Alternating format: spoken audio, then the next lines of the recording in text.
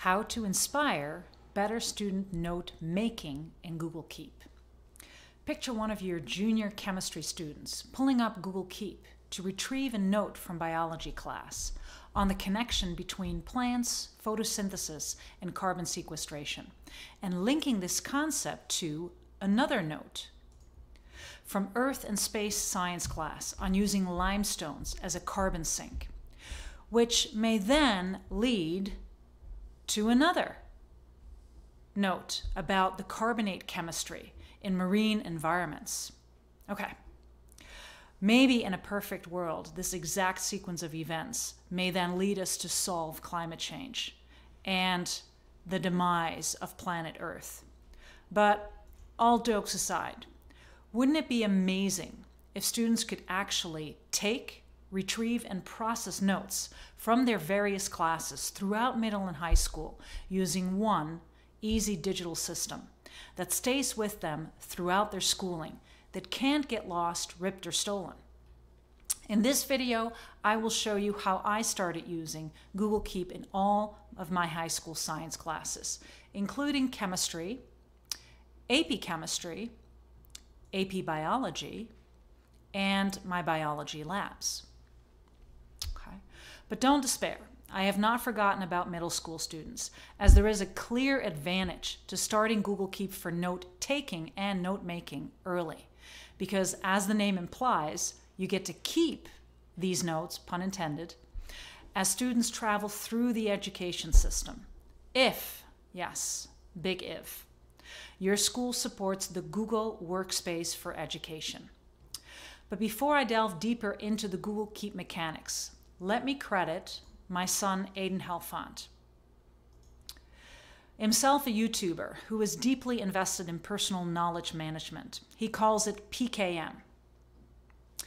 Though he is not using Google Keep, but instead Obsidian, maybe because he was at one point really into Minecraft. Please refer to the description below for Aidan's YouTube channel, as well as a link to his podcast, a podcast that Aidan has done with me in which I describe my Google Keep experience in the classroom, as well as my entire and most riveting life story. Okay. So, in order to see Google Keep in action, let's start going through the note taking process by capturing the concept I focused on in my recent video. So, let's show you a quick uh, look of that in my YouTube channel. And then we're back at it with our note. So in this particular video, I'm discussing physical change. And so to title the note, Physical Change, that sounds actually like a pretty good idea. Okay. So next, we get to the meat of the note. So instead of just dictating what students should write, I often ask them what they already know. Like, give me an example of a physical reaction. So they might come up with the fact that changes in physical states, such as melting and freezing or boiling, are all physical reactions. And thus I follow up with, now why is this so? Why is this a physical change? Well, my students may reply, if it's a good day, because it's the nature of the substance, in this case water, that does not change.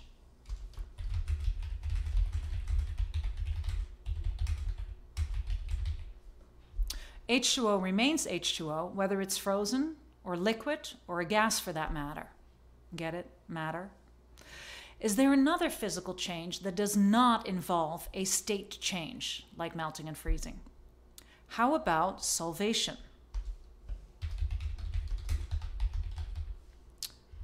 The process of dissolving a solute like sugar or salt in the solvent water.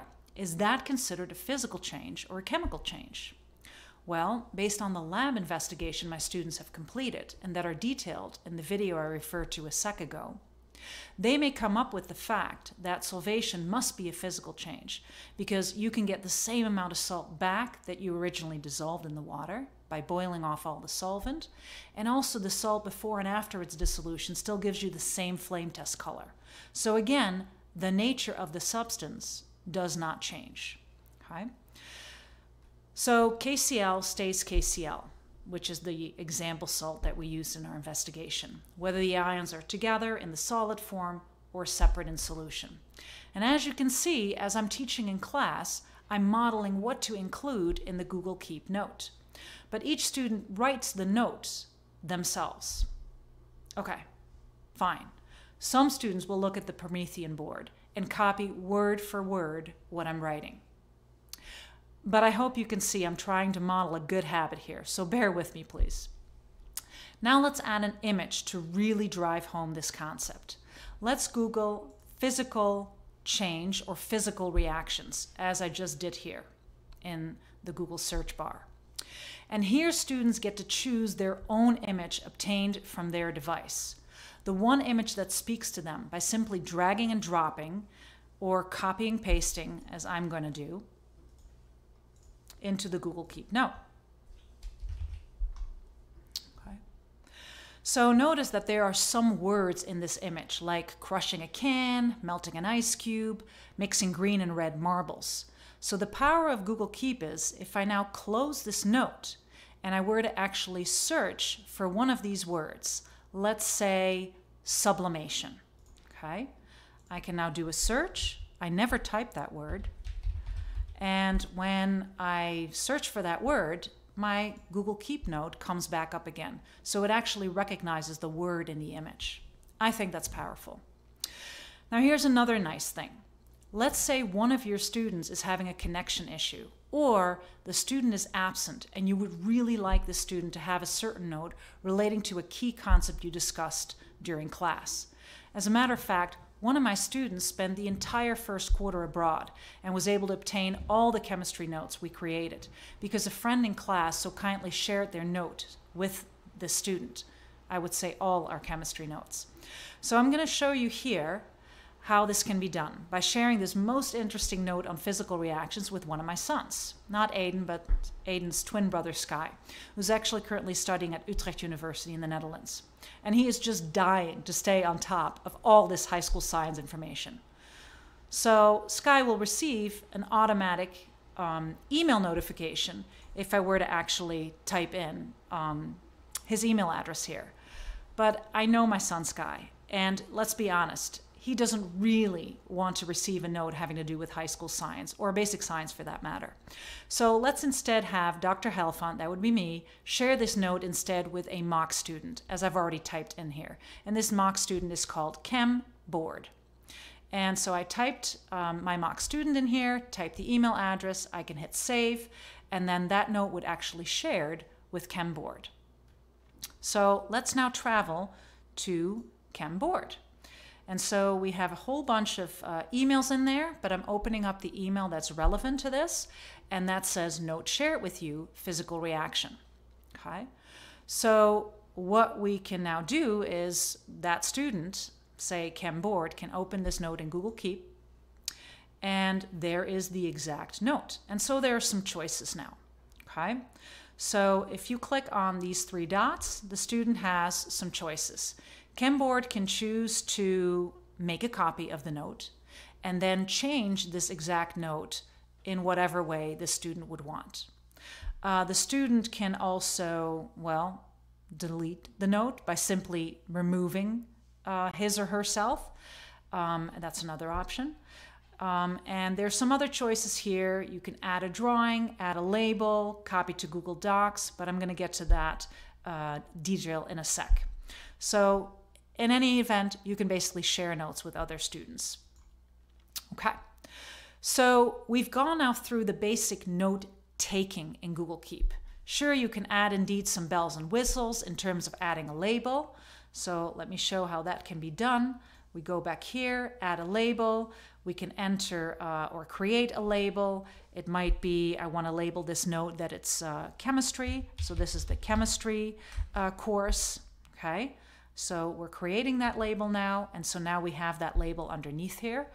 Uh, what else can we do? We can give it a color, all right? So often my chemistry notes, they are all in yellow, so I can make it a yellow color. Um, what else can I do? What other bells and whistles? I can pin the note. So right now I only have one note in this mock student, but if I pin the note, that simply means when you open Google Keep, that is the note that you see right from the get-go. Okay. Um, so I feel like I've covered the key areas. Um, what I have not shown you yet uh, is the following. To really process or to stick with chemistry verbiage, distill the information students are taking in.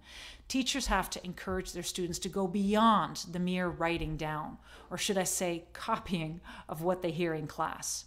So, this distilling of notes is where the note taking turns into note making, which is the process of reviewing, connecting, mm, dare I call it bonding, and synthesizing ideas from the concepts learned in class. So let's say my students in chemistry are getting ready for a big assessment on the atom. So let me now go back to my teacher mode and go to my chem notes. There we go. Um, so many notes that we have taken since the start of school in September on the atom. So, how to process the notes just on the atom, since we've also taken notes on the periodic table and we started to take some notes on bonding.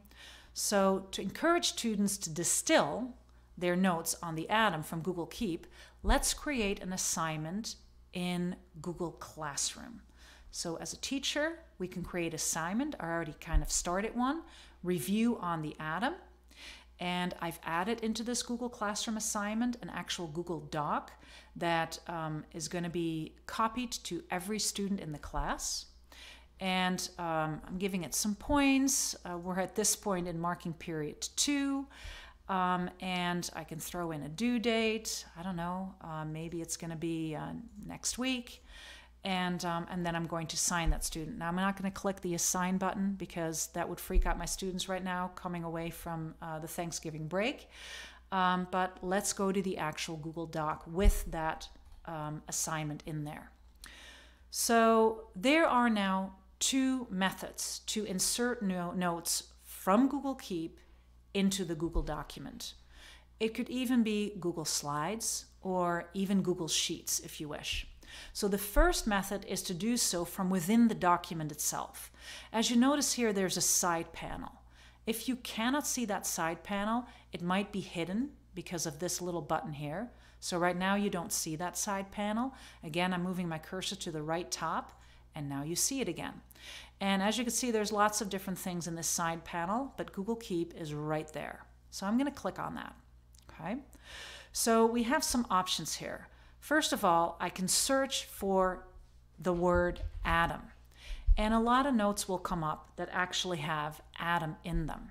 So I'm counting about one, two, three, four, five, six notes from my Regents chemistry class in New York State.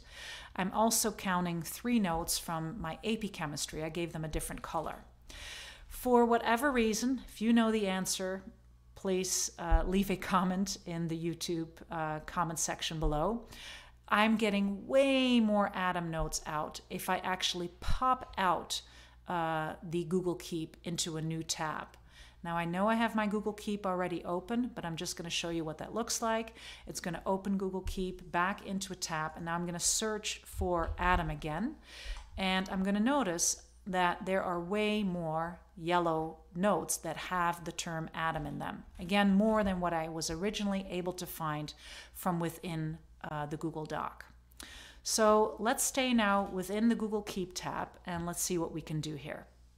Okay, so let's say I want to um, pick a particular note on the atom. Let's start with this one. Atom, the smallest unit of matter. So down here are three buttons, and if I click on that button, I can do a couple of things. I can um, obviously edit this note. I can copy that note into Google Docs, which basically means that that note is not going to end up in this Google Doc. It's going to end up in a different one. Okay? So maybe that's not quite what I want to do though. Um, I can also grab the text that is present in the image of this note. So um, that would be another thing that I could do. grab image text and then it would be in my clipboard. Let's just try a few things. So I'm going to grab the image text and let's see what that actually did. I'm going to try and paste it in here. Um, that basically just gave me that image. Uh, let's see what else we can do. We can select all this text and of course copy it in the Google Doc, which basically just leaves us with the original note in a different form. Um, but these are just some choices that we have, okay? We could also drag and drop one of these images right now into the Google Doc. So let's do that. Now it is there, okay? So these are some choices that we have to take some select notes from Google Keep and move it into Google Doc. But is that really what we want to do? Let's think about what makes sense for the student. So what I'm going to do right now is I'm actually going to select everything that I've got and delete it, except for a review on the atom. Had the caps lock on. Ignore that. Review on the atom. And let's see what we really want to do here. Okay, Google Keep is certainly not perfect because it's kind of difficult to move certain notes within the Google Doc. So how are we going to deal with this? Okay. So let's think again about the whole point of note taking versus note making. What do we as teachers want students to take away from student note taking? Would it be possible for our students to get into a habit of taking their own notes and then eventually grasp which notes they may find useful in terms of making connections between the various concepts learned within a given course and possibly even between courses? Or is this too much to ask for at the high school, let alone middle school level? So let's go back to this Google Classroom assignment, all right? That I mentioned earlier, and I'm still in the Google Doc of that, that will guide students to distill their Google Keep notes on a particular concept. And again, we'll stick with the atom. For the younger students, or students that may need a bit more hand holding, you may wish to provide them some key questions, which I'm now going to copy here from my script. So let's do that and show you what that would look like. Okay, so you may wish and since my script is actually black and white, let's make sure that the text shows up black. Some questions would be, what are atoms composed of? Or what are the three subatomic particles? Or a more advanced question might be, um, how did Ernest Rutherford, let's go there, how did Ernest Rutherford's gold foil experiment lead to his discovery of the dense nucleus located in the center of each atom. So if we now go into that last question, a student could go back to their Google Keep notes and maybe find the actual Rutherford note, if we had one. So let's see. Look at that. We have here Rutherford's gold foil experiment, and we have some actual um, screenshots that are coming from students using an app called Pear Deck. I'll do a separate video in the future on Pear Deck that highlights um, what that actual experiment looked like, what they need to learn from that experiment.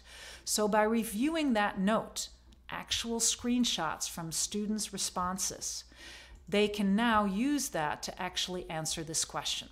So again, this is a review on the atom that helps students distill their notes. And I'm showing you here three exact key questions that we as teachers can feed them. Okay? But for the more advanced students, you could actually coax them into coming up with some key questions by providing them not with the actual questions, but by providing them only with keywords that can be turned into actual questions for them to answer using their Google Keep notes. So, sticking again with the atom example, you could propose some terms like, okay, and I'm going to copy this over. Bear with me. So, we have here such keywords as atom composition. Come up with a question related to that the gold foil experiment. Come up with a question related to that. And perhaps we could even uh, propose a question that includes the term atomic radius trend, and that would really take it to another level. Okay, so um, the key here is for students to actually turn these terms into questions and then go back to Google Keep to help them actually find the answers to these questions by searching through all the notes. And that way, it would actually help them to distill these notes. So, by completing this review assignment, it would force students to go back to their Google Keep notes and see which notes would help them to complete this assignment. And it could also help them decide which notes to really keep in Google Keep and which notes to archive. And it's pretty easy to archive a note. For example, if we decide that we no longer need the note on, I don't know, let's go back to the atom. And let's say that we no longer want the note on the history of the atom, then we could simply archive that note. And that would mean the note is gone for now. Um, it can still be retrieved, but it won't be in their plain view. Okay. So, in summary, I've shown you now how we can distill these notes from Google Keep. Um, the final, more advanced task for students would be to turn these distilled notes by completing that review assignment that are now present in that review assignment and express these distilled notes. What do I mean by express? Well, sticking with our atom example, students can utilize their distilled notes to actually come up with a model of what their current understanding of the atom actually is. It would be the student's way of expressing these notes into their own understanding. Okay? So I'm not yet delving deeper into this express step for now, but I will get back to this perhaps in more detail in a later video. So altogether, we've now completed the acronym coined by Tiago Forte called CODE for capture, you're capturing notes in class, you're organizing them in Google Keep by giving them certain labels and titles. We've distilled them by basically going and completing a review assignment with some select keywords or questions that can then be answered using the Google Keep notes. And then the final step could be to express these distilled notes into possibly a model that would give them a full understanding because they are creating this model of, in this example again, the atom. See the description below for more information about Tiago Forte's philosophy on personal knowledge management in his book called Building a Second Brain. Thank you for watching and see you in the next video. Bedankt voor het kijken en tot ziens.